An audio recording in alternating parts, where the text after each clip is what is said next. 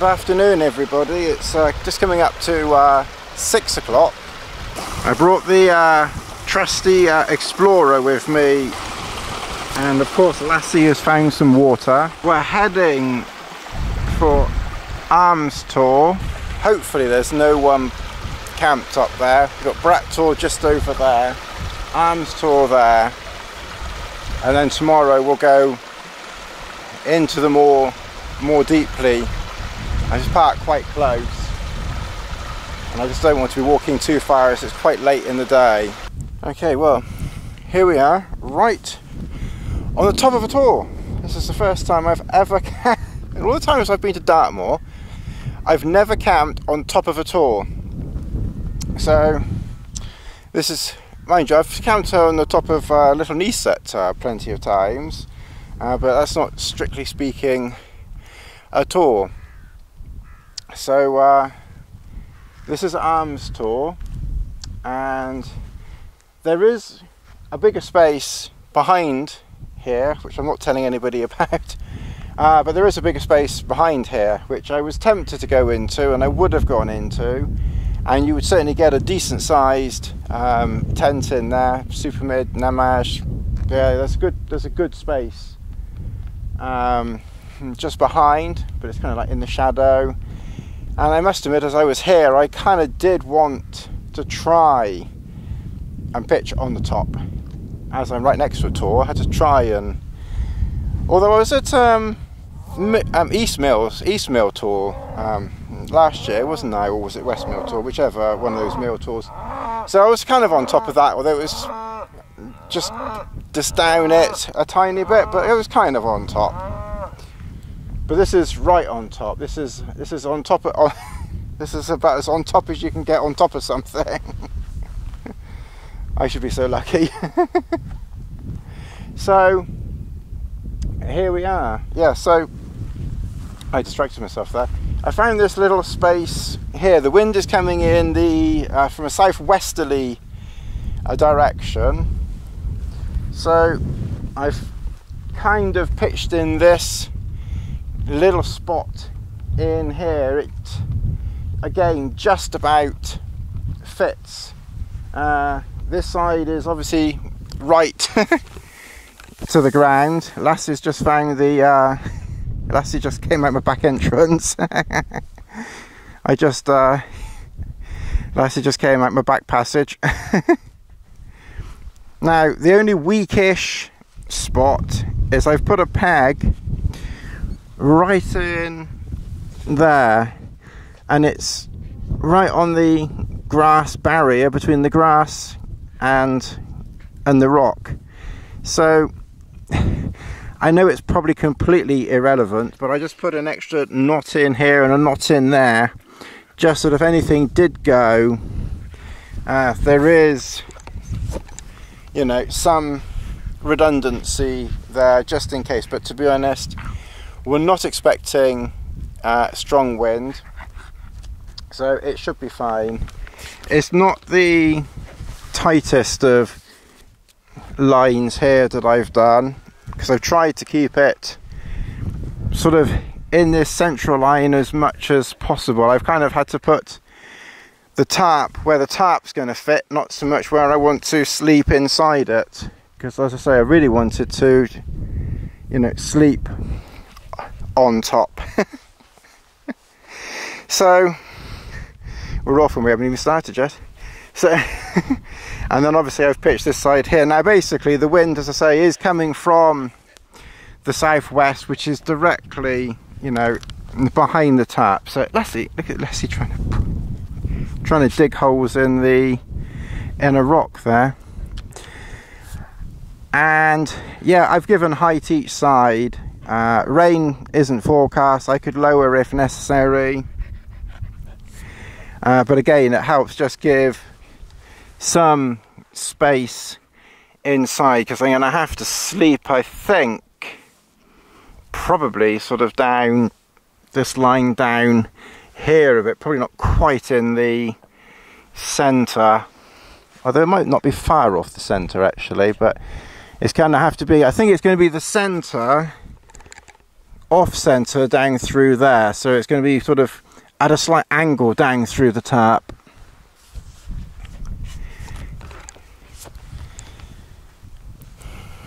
Most mind you I was going to say most of you probably won't know mind you the hanger-oners are probably the ones that have been around for a long time bless your souls.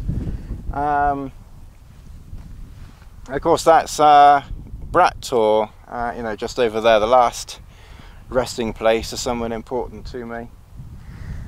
Um, so it kind of feels a bit strange up here.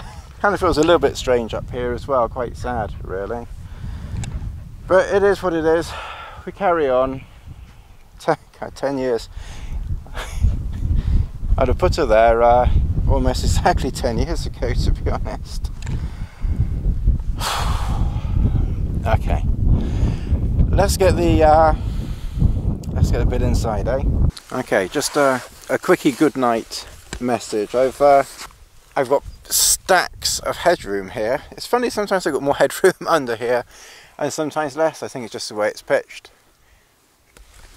As you can see, that's the center line there, but I've angled it at this angle here, but my head is still pretty much above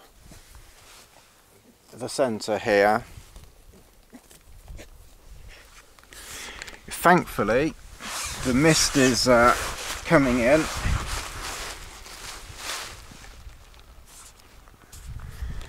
There's uh, mist pretty much all around now and that mist will probably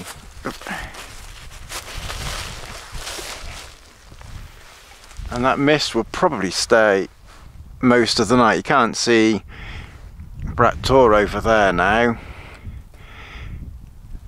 And the mist is blowing up the valley. Those people have long gone. I didn't see them again. They uh, they may have seen me and then just disappeared down.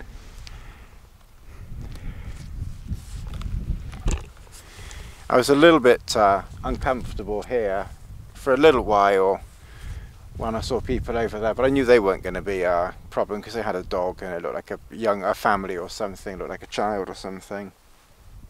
I was a little bit like one percent concerned about Brat Tor and I'm glad that I didn't camp over there. One, I think it would have been too sad, but two, there were several people, youths maybe, men, I'm guessing, um, over there. And if I'd have been camped over there somewhere, they definitely would have seen me, which wouldn't have been a problem. But I prefer when I'm camping that there's not uh, other people around. So I think tomorrow I'll try not to be too late to get going, I think. I can't say I'll be exactly early. I probably won't be early, but uh, I definitely won't be hanging around here too long and then we'll head into the outback as it were. But I really don't think we're going to get any disturbances tonight. It's 8 o'clock. The sun set uh, about 10 minutes ago. So there's about uh, 10 minutes or so of twilight. Okay well I'm going to duck inside and I will catch you all tomorrow. Well good morning everybody. It's just gone 11 we can see that on that watch on the right wrist, on the watch on the left wrist. Yes, I am now watching, watching, too early in the morning. I am now officially a two wrist watcher. Well, I'm never going to be taking the Rolex off my left wrist now, let's face it. But since I got this Garmin uh, Fenix 6X, I kind of quite, kind of quite like it. It's uh, I don't really use any of the connectivity to uh, the internet or notifications or anything like that. I look at the phone too often um, for that kind of nonsense. But it's just interesting to track things and be able to see just other interesting things.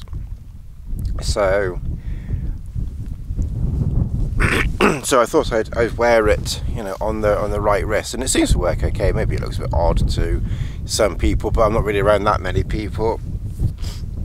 And I don't really think people in the in the pub, if I go there for mum, or in the supermarket, are particularly going to um, take any notice of it, and that's about it, really. Um, and if I take Dina to the beach or something, there's only going to be dog walkers there or something. Nobody's going to notice anyway. So, as I say, it's 11 o'clock. I woke up about 10, so I've had about 12 hours sleep. Be interesting to see what the app says about that. That might actually get my body battery up a bit. It's been quite low being at home with Dina stressing all the time. Um, so that would be quite an interesting, fun thing to see. So I've put uh, porridge cooked, so I'm just waiting for it to just cool off a little bit. We've got some Lassie here. Let's see. She's a bit wet from being outside. oh. Alright, good girl.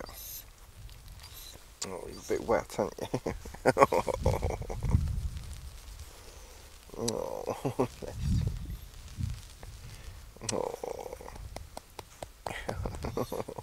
good girl. Oh, wet. Oh. I don't always complain if I kiss something wet. oh, that's very often. Right, okay, now go back go back over there. Right, let's carry on with what we're right. Let's carry on with what we're doing, and then we'll catch up in a minute.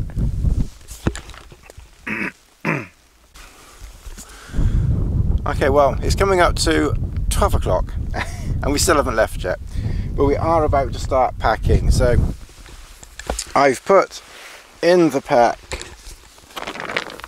the mat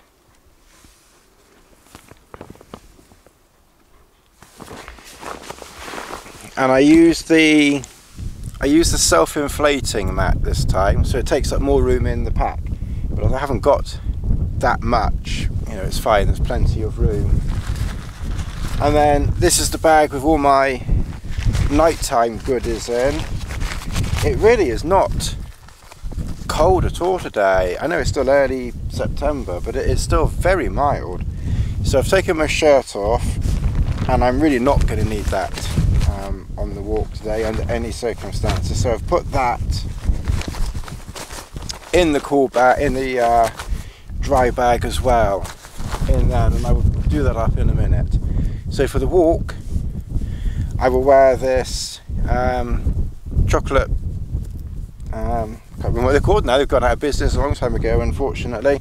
Uh, but anyway, this merino base layer with a zip long sleeves and my wind shirt, and then if necessary I've got the waterproof to go over the top and like I said I'm very warm just sitting here like this and I've been sitting here like this out of sleeping bag for over an hour now and it is just still so warm. So that's going to be you know plenty.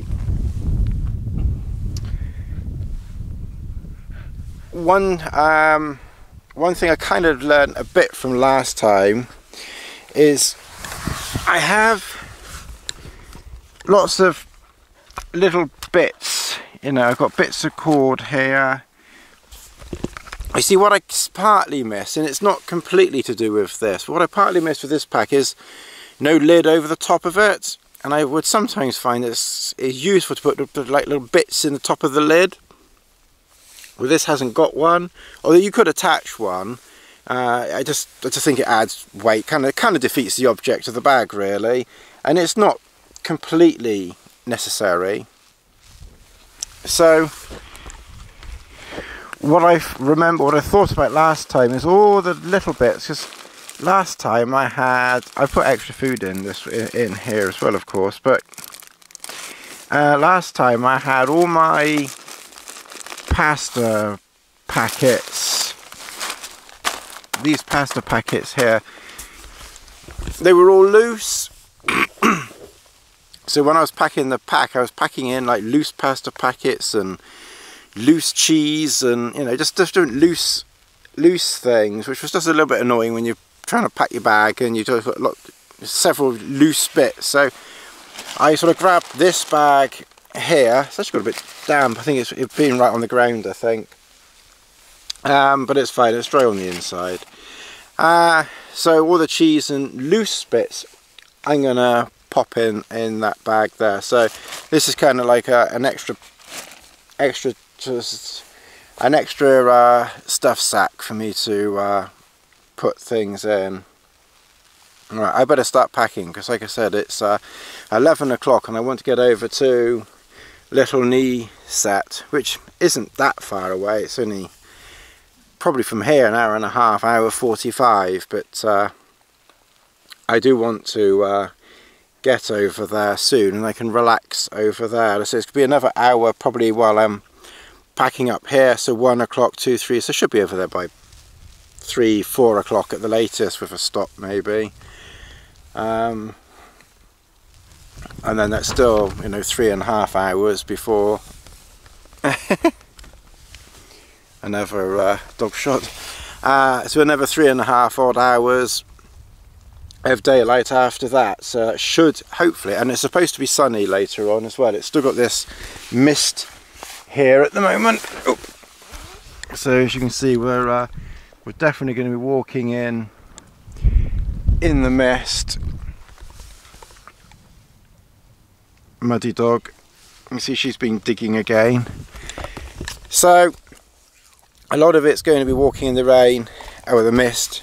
I have put on my phone the, the route from here to Little Knee on my phone, on my watch. So we may get a chance to look at that. Uh, like I said, I'm hoping... Let's see, get back over that way. get back that way. It's a very obedient dog, isn't she? Look, you're all wet and muddy, and I really don't want wet, muddy dog all over me. Stay there, stay. Oh, yes, I know you're very beautiful. Let's see.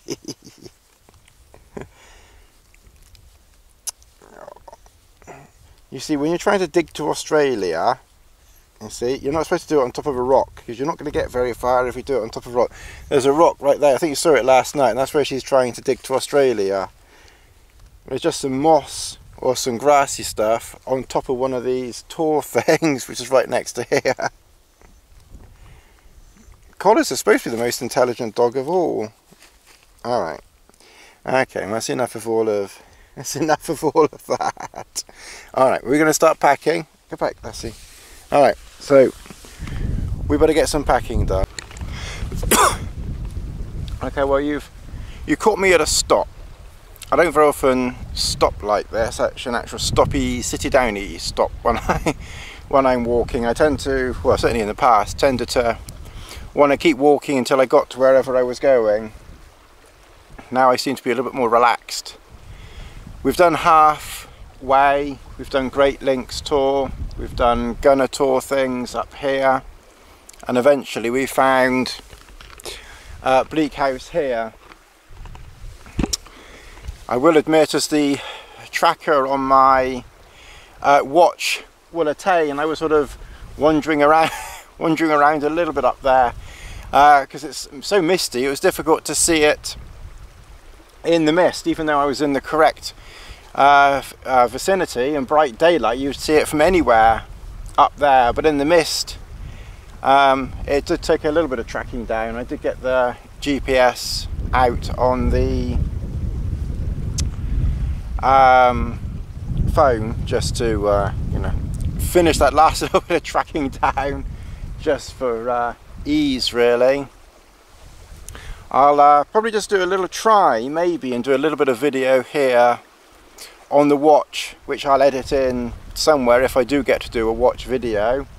And if I don't get to do a watch video then I'll I can edit in as part of as part of this video. But I'll try and do it as a separate video which would be quite uh, interesting.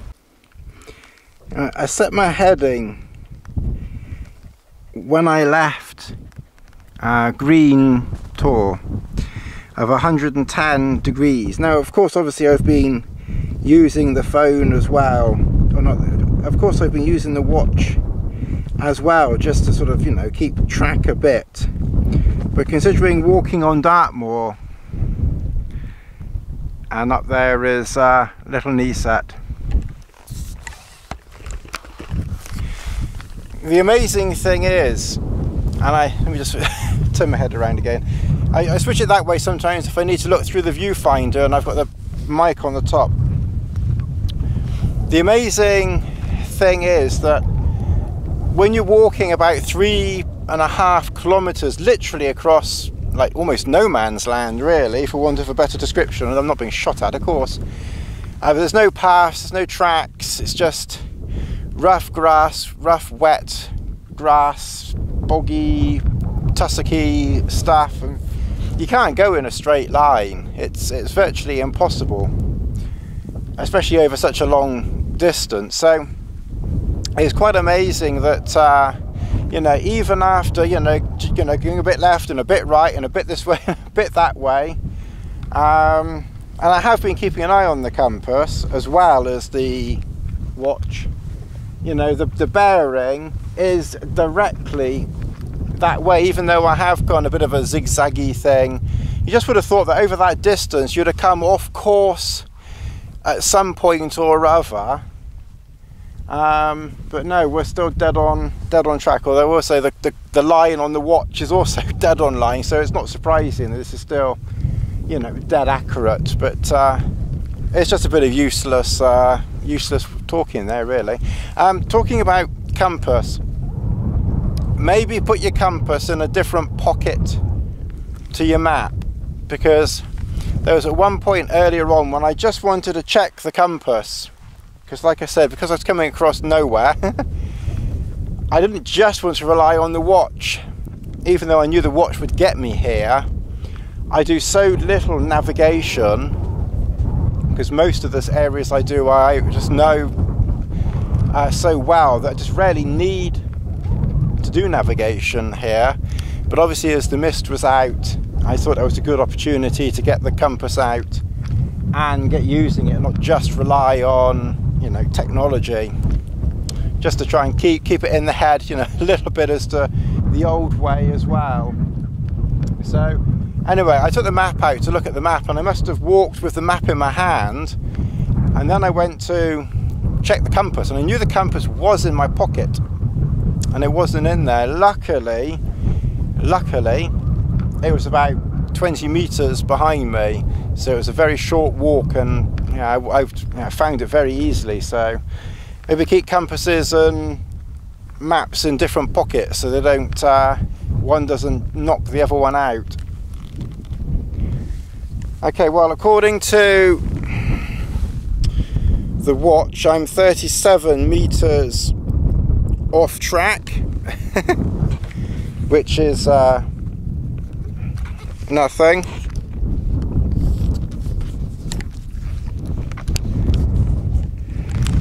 I think what I do going to do here I'm going to stop the video and then I'm just going to do turn it on again for adding into a video on the watch so I can try and keep watch bits mostly together.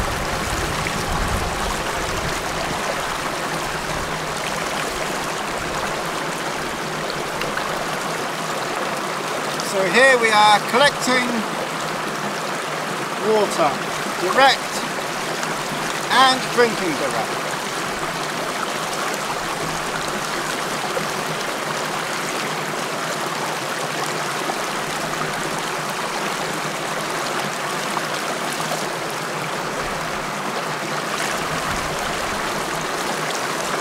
of course, be careful not to fall in. One very nice feature of this pack, and it's not something I've used before because I normally camp right next to water or very very close to water.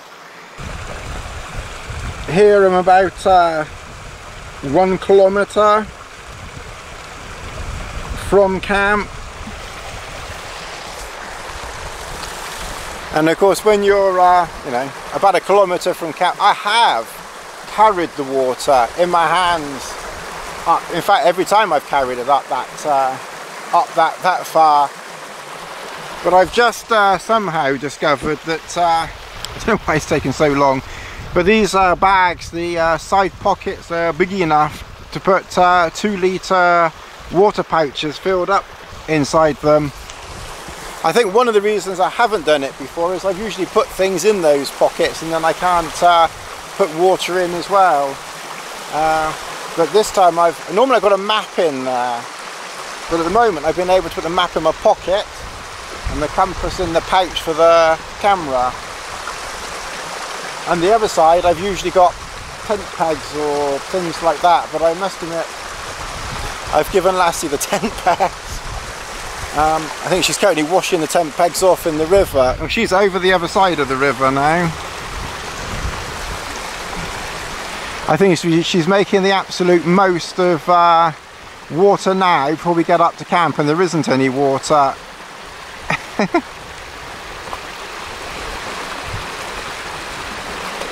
so a nice bit of, uh, I won't say doggy action. a nice bit of lassie, lassie action for for all the uh, the the lassie lovers out there. Make sure it's in the frame. no doggy no doggy out here. So that's for uh, John Boy in uh, New Zealand.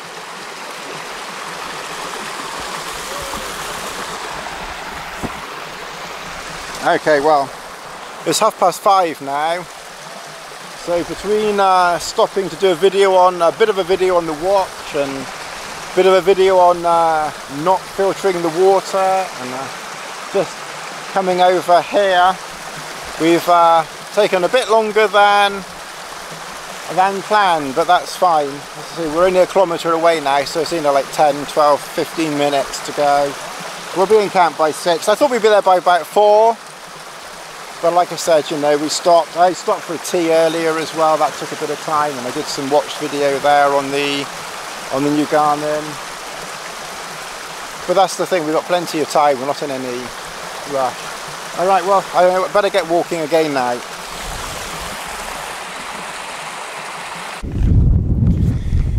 Okay. Well, we've reached Great Kneeset. We've got here at quarter to six.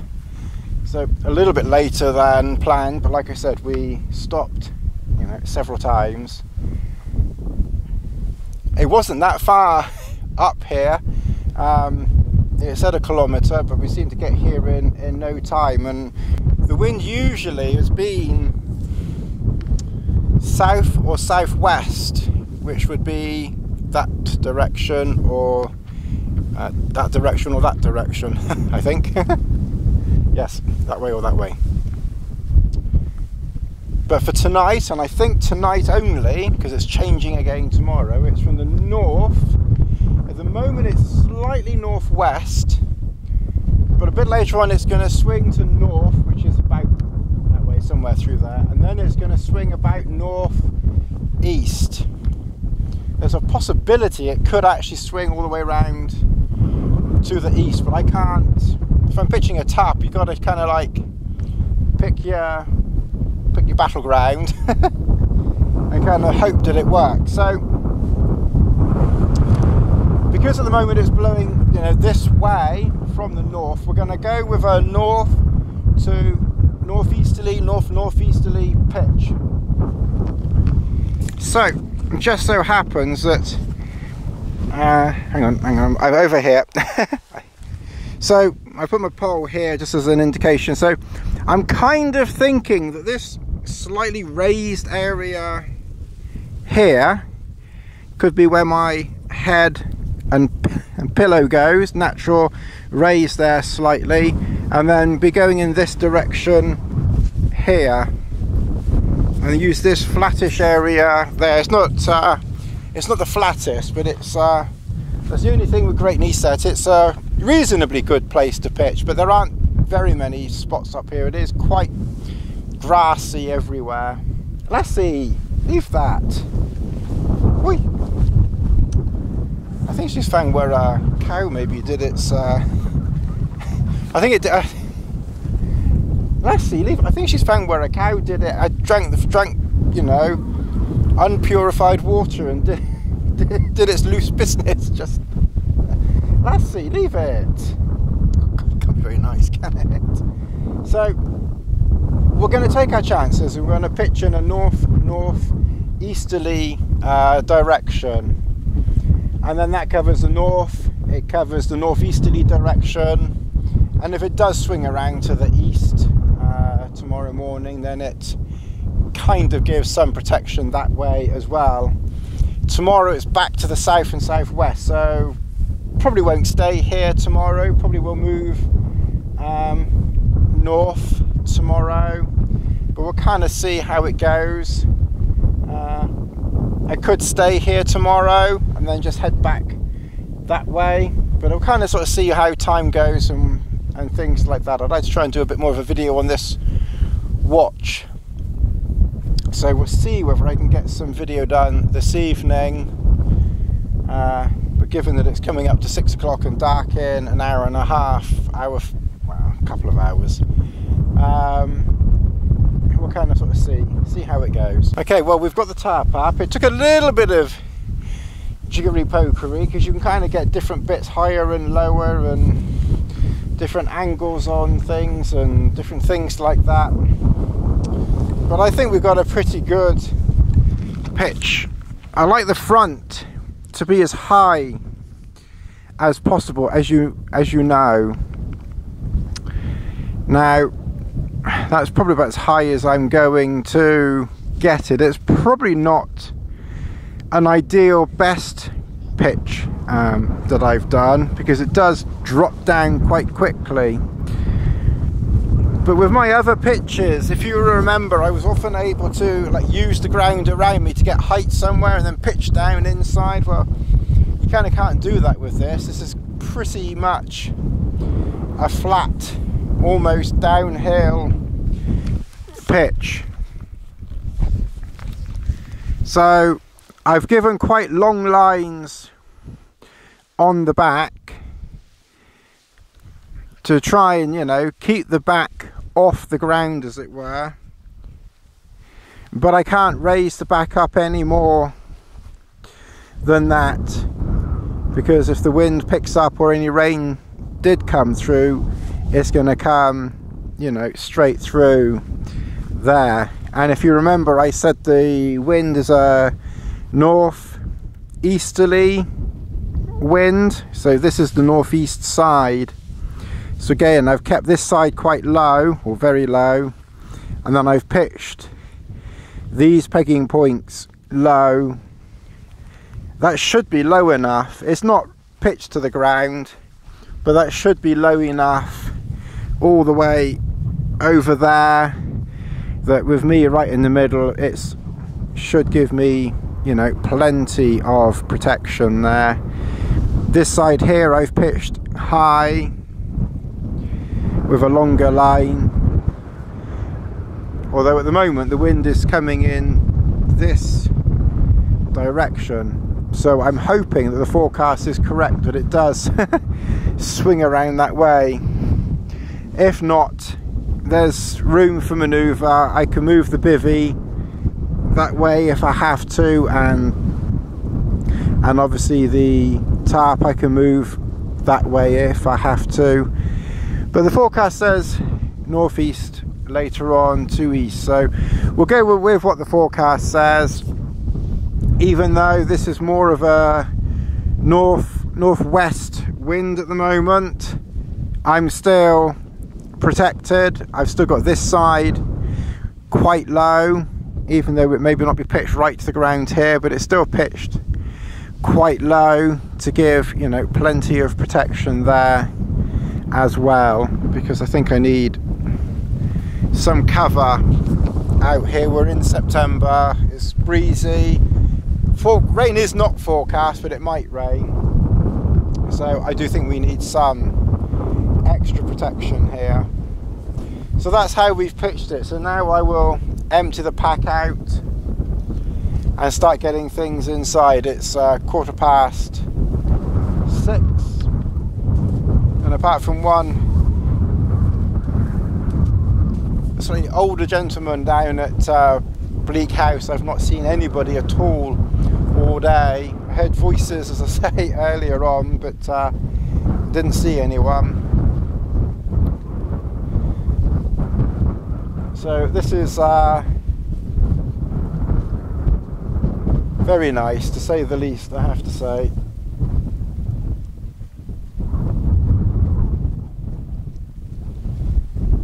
I've given Lassie her food so I think it's time to settle in for the evening now. It'll be dark in an hour and a half. It's quarter past six so dark in an hour and a half.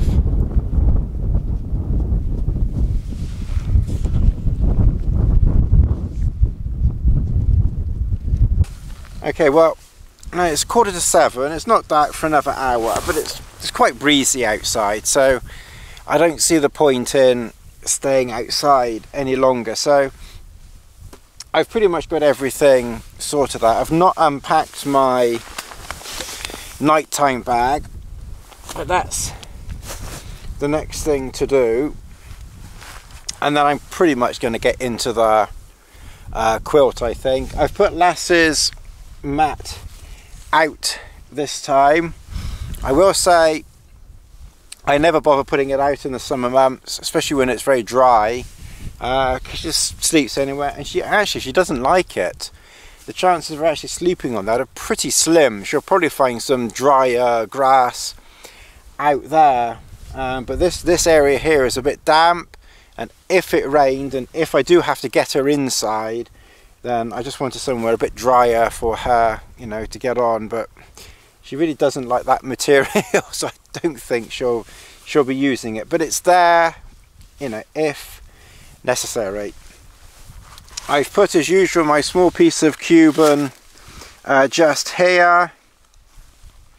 I can, uh, you know, I can adjust that as as necessary.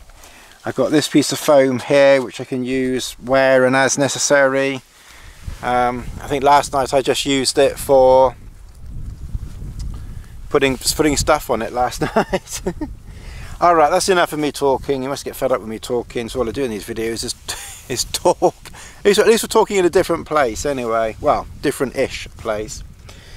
Okay, well, that's it then. I will probably finish up here and do more video in the morning on this. I might try and do some watch video in a minute, but the battery's going down. So I'm going to put this camera onto charge for a bit and then we'll just see how things go from there.